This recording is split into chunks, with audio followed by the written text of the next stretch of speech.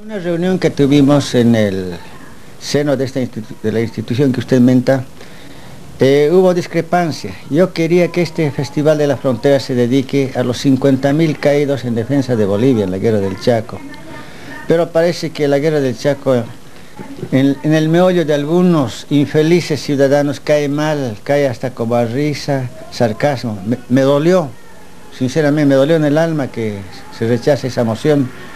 Y por mayoría se aprobó esta. La intención es buena, no es mala porque se trata de honrar a través de los muchachos del 900 a toda la gama de músicos que hubo en el Chaco desde la guerra. Y esto tiene su historial, así como yo estoy haciendo 47 años de periodismo, también tengo 69, 59 años de músico conjuntamente, mis estimados amigos, unos muertos y otros todavía vivos. Durante, durante la guerra siempre hubo conjuntos musicales. En los comandos era la atracción saber quiénes éramos hábiles para la guitarra, el violín, el charango, la mandolina. Entonces ya nació un, principio de lo que fue posteriormente estos conjuntos. Cesó la guerra y en Villamontes organizamos el conjunto Vinilios Club. Éramos 12 músicos, 6 paseños y 6 cruceños, que nos hermanó la música. El Vinilios Club hizo sus actuaciones en teatro, en periodismo, hasta en deporte y en música naturalmente durante los años del 36 más o menos al 40.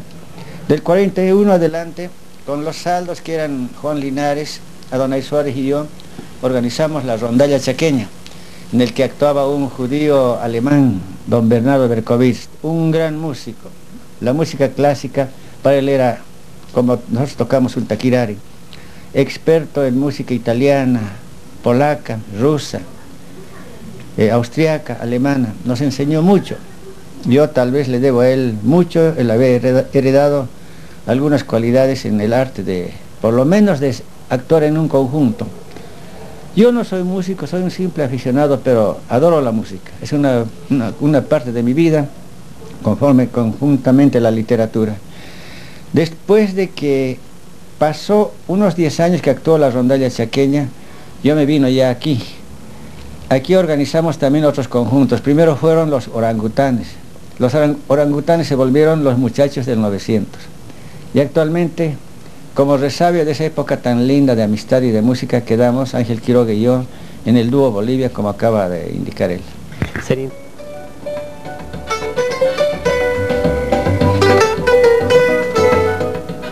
Hoy en día los resabios de aquellos entusiastas artistas de antaño solo quedan algunos pocos, los que aún de cuando en cuando agarran la bandolina, el acordeón o el teclado e interpretan algunos temas musicales.